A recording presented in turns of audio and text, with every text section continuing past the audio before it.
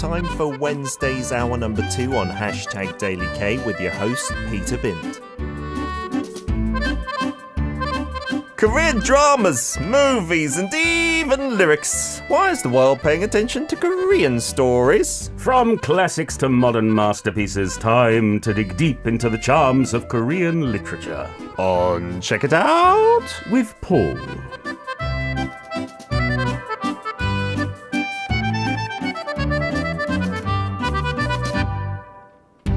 It's a Wednesday, hump day, jump day, pump day, grump day. Paul Matthews is in the studio with his delightful readings of Korean literature translated into English. Good morning. Good morning. How are you doing? I'm all right. You Your know, taxi took a wrong turn. That's why Sherry requested Mr. Taxi. Did you very hear that kind. dedication? I did. I did like the song as well. Did you I have Sonia that in a while. Shide driving you in the taxi? No, it was a rather old gentleman. um, I don't think he was a member of Girls' Generation. Not Uh, yet, anyway.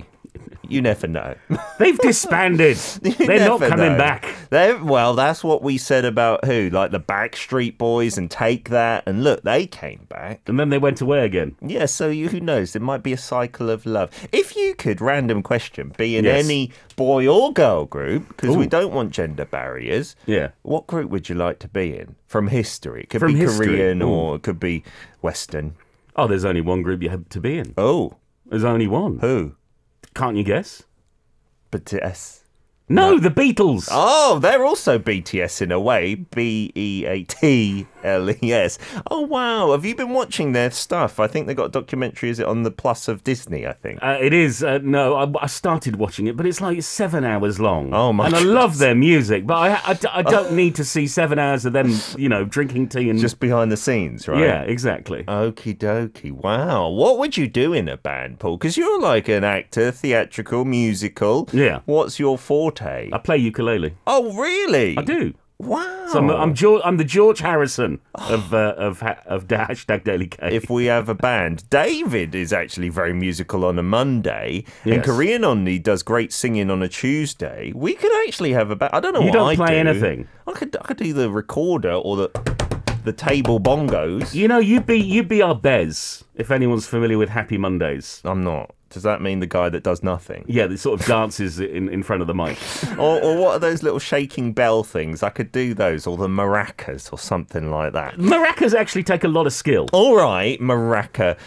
I didn't want to. I shouldn't say that word on there. Uh, let's get to today's hashtag, Yes. uh, which is Check, which is perfect because we are a book segment on a We are. Wednesday. Fairy tale books. What are some from your childhood that stand out in the mind? I love them all. I was a big fan of fairy tales. I still still am. I still read them. and I Oh, love lovely. reading fairy tales from around the world. Uh-huh. Um, and I love Korean fairy tales as well.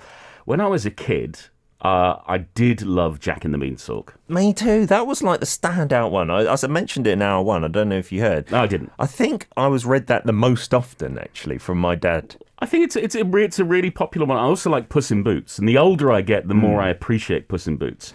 But what I want to talk about Mm-hmm. is uh, there are some brilliant modern adaptations. Oh. There's uh, a, a, a writer back in the 1980s. Her name was Angela Carter, Mm-hmm. and uh, she wrote a book of short stories called The Bloody Chamber and Other Stories. Oh. And they're all based on old fairy tales, but they're modern and they're very adult. Brilliant. And this is not a book that you give to children. Okay. I will tell you that. Not for Gionelli. Uh, no, but they are absolutely wonderfully written, and they capture the darkness and the horror and the nastiness of Wow. uh, fairy tales. Yeah, which one of our listeners, I think it was in Yin, was saying.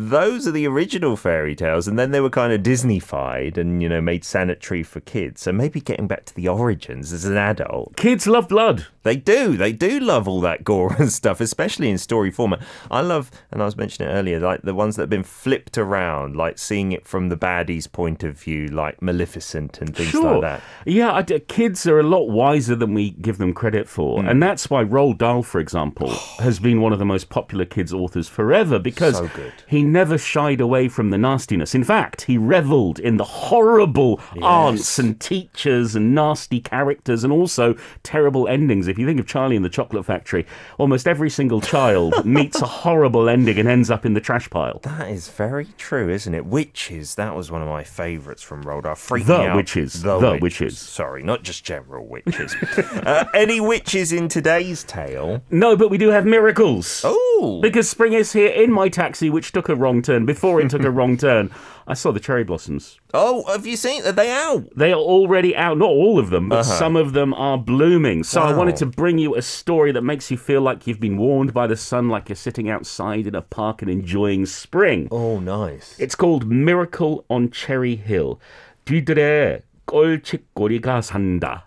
Oh, that's a bit of a different Korean title, isn't it? Yes, uh, it's written by Hwang Sun Mi and it's translated by Chiyoung Kim and illustrated by Nomoco. And we get to go to a beautiful garden where an old man is forced to confront his past as well as learn to live as part of a loving community. We've got chickens, we've got children, we've got cherries, and much, much more. and we don't usually have something that's illustrated. So we're looking at the cover right now. Are there some illustrations in the book as well? Just a few. It's not a picture book, but um, we've we've we've covered this author before, Hwang Sun Mi. Yeah. Um, back in April 2020 with the hen who dreamed she could fly, and just like that book, there are little illustrations interspersed Yeah. in the book, and it just adds to the charm. Fantastic. Yeah, the Korean title, I guess like a rough translation would be The Headache That Lives in the, the Backyard or something like that. Yeah. Uh, I pr- much prefer the English title. that doesn't sound so heartwarming. Maybe talking about the old man, I suppose. So, for those who didn't tune in when we talked about Hwang previously, just a little rundown. Sure. Born in 1963, she had a tough childhood. She grew up in a poor family. Uh, she was unable to pay to go to middle school, but luckily a teacher gave her a key to the classroom, and she went there and she read and read and read and read. Amazing. And she studied and went to Seoul Institute of the Art. She went to Gwangju University, Chung-Ang University, and she's published more than 40 books. Uh, she's much loved here in Korea. She's won lots of awards. She writes for both adults and children. And uh, there are three books available in English so far, as far as I know. One Okay. we've covered, The Hen Who Dreamed She Could Fly. This one, and The Dog Who Dared to Dream, which in fact I bought this morning on a very popular river based uh, internet site. And it only cost me uh, $2.41, I think. Wow. They were having some sort of sale, it seems. Impressive. So her books are very reasonably priced in certain places. All right, a great tip for you guys. We do sometimes do texts that are free to access Yes. as well, and we'll let you know about that. That's not the case for today's story. Uh, no, no, no, no. I bought this book fair and square. Okay, and the translator, we featured Jeong a lot, right? Uh, Yes, we featured her just a couple of weeks ago with her brilliant translation of The Investigation. Uh, it would take too long to name all the books that we've done of hers, but she's one of our regular translators. Uh, she's brilliant. She's a lawyer who translated as a hobby and then just basically became a full time translator because she was, I don't know, loving it, enjoying it. She's translated over a dozen books from Korean to English, and if you see her name on the cover, you know you're going to get a solid translation. I don't know why, but Nomoco sounds familiar. We haven't done this illustrator in the past. Yes, we have. Oh, that's why it sounds familiar. Yeah, we did it back in April 2020 when we did The Hen Who Dreamed She Could Fly. You told me that just earlier, didn't you? And I wasn't even listening. I do apologize. Yes. So Nomoco is the pen name for Kazuko Nomoto. She's a Japanese designer and illustrator. She's based in London and she's had exhibitions all around the world. And yes, for the three English translated books of Hwang Sun Mi, she is the illustrator. Oh, that's nice to have for those translations. Uh, let's get into things then. Where do we start in the story? We're going to start with the old man in the garden talking to himself.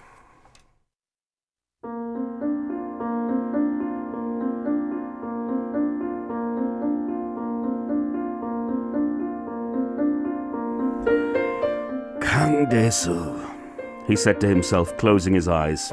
Aren't you famous for being level headed and calm? Sir Lump, don't be so thrilled about this. I'm fine. Tears trickled down his cheeks. He raised his fingers to his temples and grimaced at the wetness. Pitying me now, are you? He hadn't expected that he still had the capacity to cry. Fascinating. Or maybe it was time to be concerned. Sir Lump was the tumour that had been growing in his brain for some time. The tumour had brought him here. When he found out, he couldn't accept the diagnosis. This tumour had settled in his brain without permission. He didn't want to crack his skull open to scrape it out. What if he lost his battle with this invasive intruder? This malicious growth had staked out a very sensitive part at the back of his brain, and he would just have to live with it, coaxing it along, just like Dr. Kim said. There wasn't really any other option. How dare Sir Lump pity him?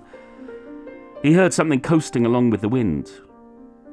Something like humming. Kang remained on his back. If he concerned himself with every singing animal or person who was evidently trespassing on his property, the tumour would swell and burst from sheer irritation. If Kang had raised his head just a little bit, he would have spotted a white haired woman with a basket opening the front gates to his property, as if entering her own house and walking past the grapevines. He would have seen her walk through the sweet briar thicket, but he was on the ground and didn't notice her at all.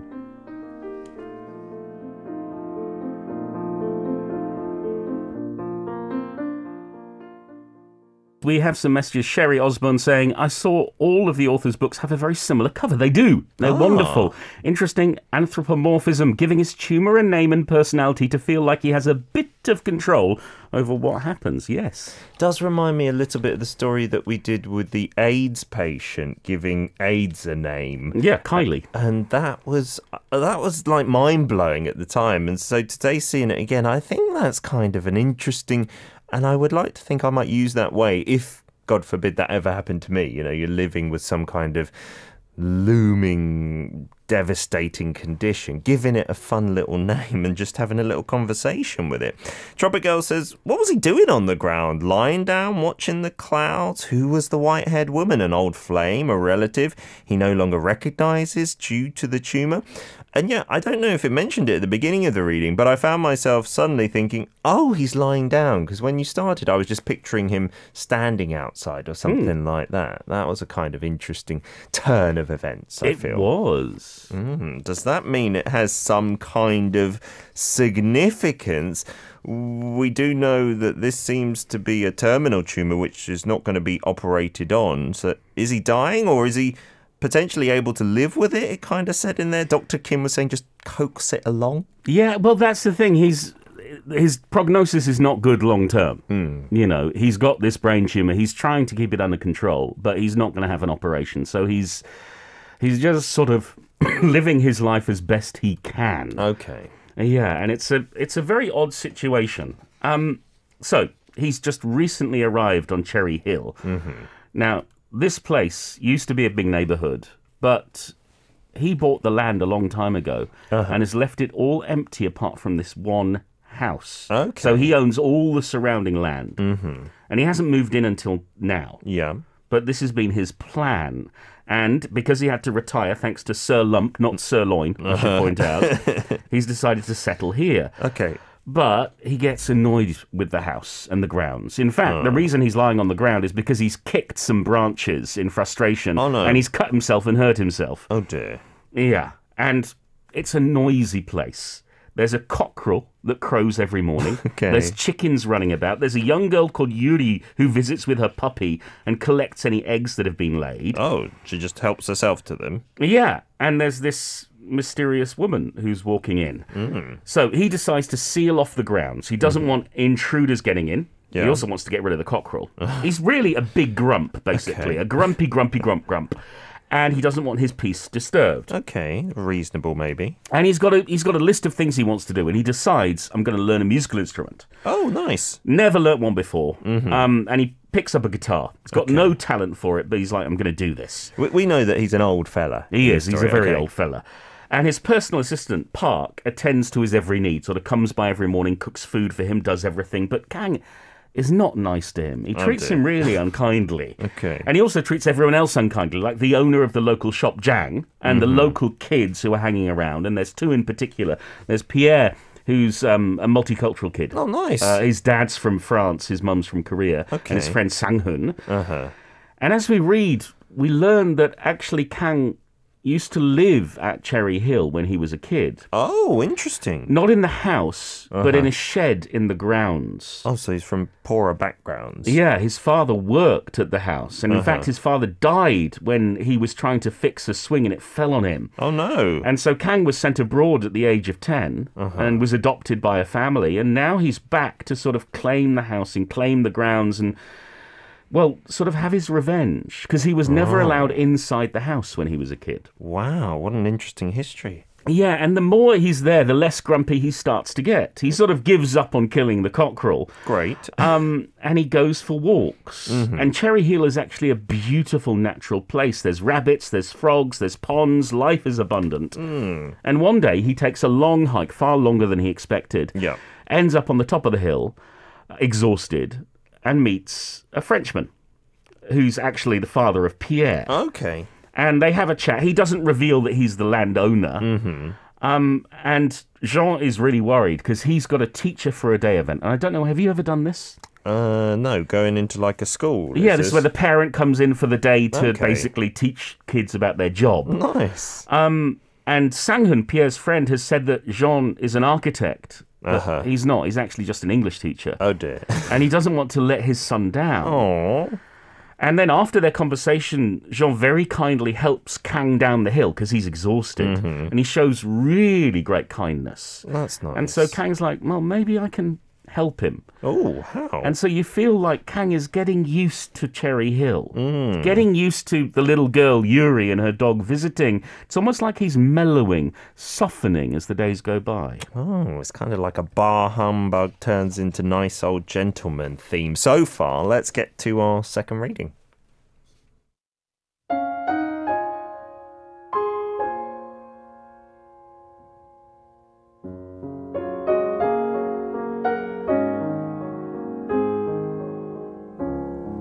When Yuri spotted him, she greeted him with a curtsy. She wasn't even wary of him anymore. She came up to him as though she were about to tell tales on someone. Grandpa Giant! she cried. Kang swallowed hard. Her puppy kept barking at him. Why do you call me Giant? Kang asked. Yuri pouted. "Uh, because you live in such a big house. That's why. Kang nodded at the very simple reason. Grandpa Giant, I don't see Cutie. I bet Meanie ate her. He's so mean. All he does is bother the hens. That's what he does all the time. Kang was baffled. What was he supposed to do when a child went on like this? Who was Cutie? Who was Meanie? Was Cutie a chicken? Could Meanie be a cat? It seemed sensible a cat would eat a chicken. Was that what happened? You named a chicken and a cat? Why? Yuri just blinked at him. Then again, he did ask too many questions all at once. Finally, she explained. Why not? Everyone needs a name. I'm Joe Yuri. You're Grandpa Giant. This is Walnut Tree. The cockerel is Chief and the bunny is Scaredy and the cat is Meanie. Hey, bad cat! Yuri suddenly shrieked, startling the old man.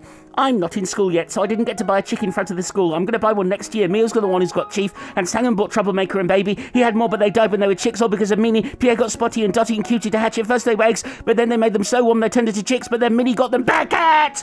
You're going to be in big trouble! Kang shook his head. He felt short of breath just listening to her clear, bright voice chirping away without pausing. He couldn't even understand everything she was saying, though it was fascinating to observe her facial expressions. What he could deduce was that each of the chickens had an owner, one of the many children who came and went as they pleased. They bought them in front of their school, or hatched them from the eggs. Although, who knew if it was even possible to incubate eggs at home? In any case, they let them loose on his property and came by every morning to collect the eggs. How brazen!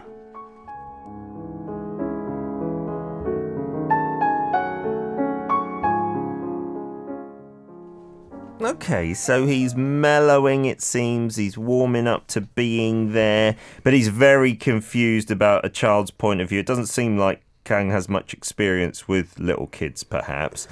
Does he then take kindly to them, welcome them all in, live together, perhaps? No, No. No, he makes his mi- up his mind he's going to stop everyone from coming in. Oh, onto his property. Yeah. That's lovely, isn't it? So he, despite him feeling better about himself, he's like, no, no, I'm still going to shut everyone out. oh. And he even gets the maintenance company to start protecting his fences and walls better. Wow. But before that happens, he meets this white-haired woman Oh, that we heard about in the in the first excerpt. Yes. Uh-huh. So he discovers a perfectly kept vegetable patch, and she's actually the one who's tending to it. Oh, as if it's her own land. Yeah. And so she acts really strangely. She's softly spoken, but it feels like she thinks she owns the place. Uh-huh. She's even got a key for the gate she uses to enter the grounds. Oh, that's another level. Yeah. So the maintenance company, they shut everything down, seal off the entryways, they put warning notices up. No one's going to come in. But now the cats start eating the eggs and attacking the chickens. Oh, no. And the perfect garden starts going to seed, and then one of the eggs has, eggs has hatched, and he feels responsible for the newly born chick because the mother seems to be missing. Uh-oh. So he has to take care of it. and then the maintenance man comes back and starts talking to him really honestly about how important Cherry Hill is to the neighborhood Oh. and whether he might change his mind about letting people use the land. That would be nice. And he, he's thinking about it, he's and he's really conflicted. He's sort of hmm. going this way, that way, this way, that way. And then the next day, he even volunteers to go to Pierre's school and he gives a presentation with Jean because he used to be an architect himself. Oh, that's how he can help. Okay. Yeah, so he speaks in English and in French, and Jean translates into Korean. And the kids are amazed because they're going three languages this way, that way, this way, talking about architecture and how to build houses. Hmm. So everyone's impressed, but Sanghun, the other kid, Pierre's friend, seems really upset. Why is that? Well, like he's being left out. Oh. So, little by little, despite him not letting anyone in to the garden, hmm. the community are letting him into their hearts. Oh. And he's helped by the neighborhood, by Jang's, the uh, shop owner's granddaughter Miho, by Yuri's mother, and by others. And he he starts to open up a little bit. He lets Yuri and only Yuri back into the garden to scare the cats away and take care of the chickens. Okay. And then Yuri's mother has a favor to ask him because Yuri's mother's mother is the white haired woman Ah. and she has Alzheimer's. Oh. And visiting the garden is the one thing that makes her feel good and helps her mind because you see, she used to live in the house. She was the owner or the lady of the house? She was the daughter of the owner of the house. Her name is Han Song-gi or Han Song-ji. It's difficult to tell with the English translation. And she's the girl that Kang loved as a child. His father worked for her father. Oh, he had a crush on her. Uh, well, yeah, it's a friendship. They were very young, you know, we're talking about six, seven years old. And we learn how he was bullied as a kid, how he felt isolated. We learn that actually Jang, the store owner, was one of the kids that used to bully him. Uh-oh. But he's changed. He's become a much better human being. And so Kang has to confront his past. And he also realizes he needs to help Sanghun, who's actually Yuri's older brother, Oh. because he sees himself in Sanghun. He realizes they, they are a kindred spirit, as it were. And he also learns that uh, Songi and her family, they actually did their best to help him when his father died. He oh. finds out the truth about the situation, and his heart is starting to heal. And so he let Songi back into the garden and even into the house itself. Oh, it seems like it might be a happy ending. Are you ready? Every day is K-pop. Listen up. anytime and everywhere. Arirang Radio. Arirang Radio.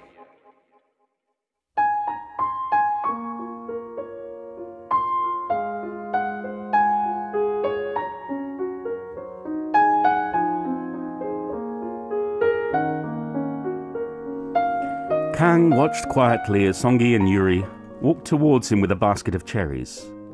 It was as if Songi, past and present, were walking side by side. They looked so similar, even though he hadn't noticed that when he first met Yuri and hadn't even recognized Songi. Was that the power of time? Just as Jang was present in Miho, nothing completely disappeared. Tears of loneliness sprang to Kang's eyes. He had achieved so much, but he didn't know what to do with this emptiness. It made him feel as though something had slipped through his fingers. Dementia made people tragic, ruining the patient and their family. It was a disease that made you question why people existed at all, but here, they were joyful as they accepted an old woman who had lost her mind. He was sure there were difficulties, hardships he couldn't begin to fathom. Dr. Kim had once compared his illness to dementia in an effort to make him feel better, saying, Isn't it better than dying without any awareness of who you are? Kang touched Sir Lump and thought of the inev- inevitability of endings. Kang met Songi and Yuri and took the heavy basket from them.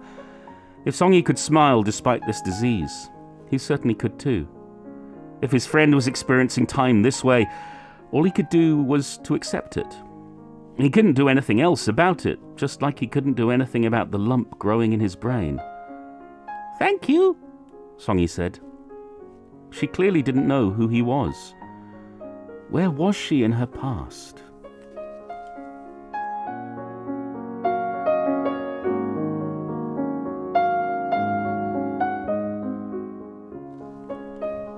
Oh, it is kind of, in a subtle way, very touching for the spring weather, Paul. I like it. Is this how it ends? Is there more to come from Kang opening up even more to other people? There is a little bit more. Oh, is there a love story with Songi? Well, no, there can't be a love story because they're living in two different times, but uh-huh. there is a friendship there. And Kang is able to make Songi comfortable. And he actually he finds a letter in a wardrobe in the attic that she wrote to him when she was 15 that was returned to sender. Oh, wow. She tried to get in touch. Yeah, because she cared about him. Uh-huh.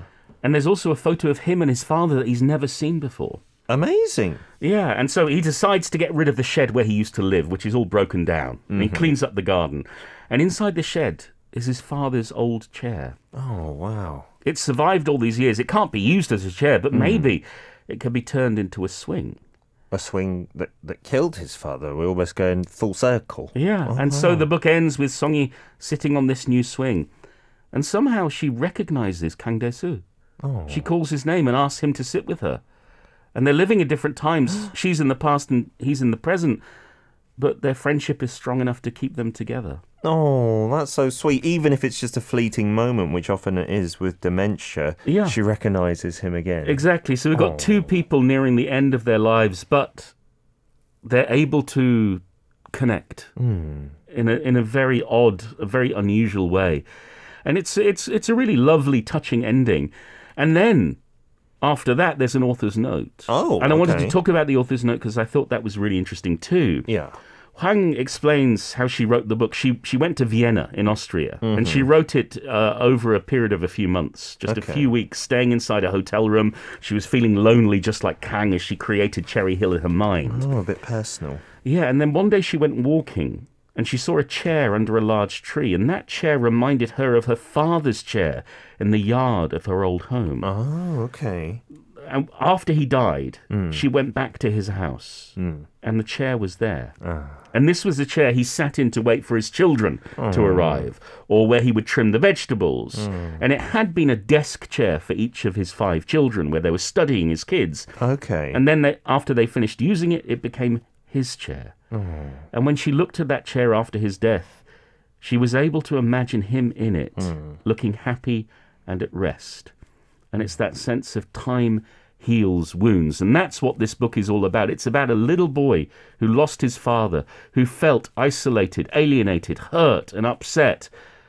And as an old man, that old man was able to cure, to heal the little boy's wounds. Oh, that is lovely. And Hayit's Wrens also says it's so pretty as to how the story naturally progresses through the process of healing.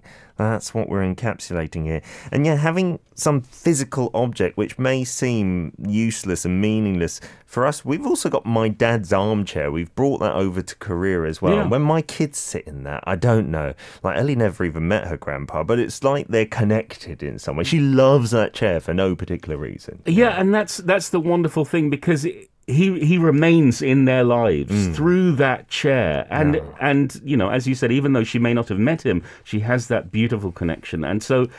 Yeah, it's a really lovely story. It's a perfect story for spring. So if you want to feel a little bit happy, but also maybe get a little tear in your eye, Miracle on Cherry Hill is the book for you. Fantastic. Thank you, Paul, for your beautiful readings. Uh, thanks to you and everyone. Thanks as always to the Literary Translation Institute of Korea for their help with copyright permission for this broadcast. Thank you to Hwang Sun Mi for her lovely book and Chiyoung Kim for her translation. Next week, the book I will be reading for you is Mina by Kim Sagwa. It's translated by Bruce and Ju Chan Fulton, and I'm looking forward to sharing it with you. I'll see you next week. See you then. You can listen to Check It Out with Paul Matthews on Arirang Radio's hashtag Daily K every Wednesday from 10am KST.